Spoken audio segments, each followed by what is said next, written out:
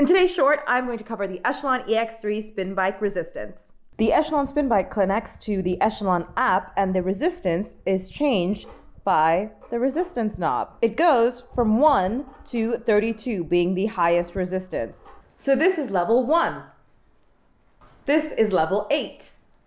This is level 16. This is level 24. This is level 32. Ugh. Thanks for watching. Make sure you subscribe to my YouTube channel for more Echelon EX3 spin bike videos.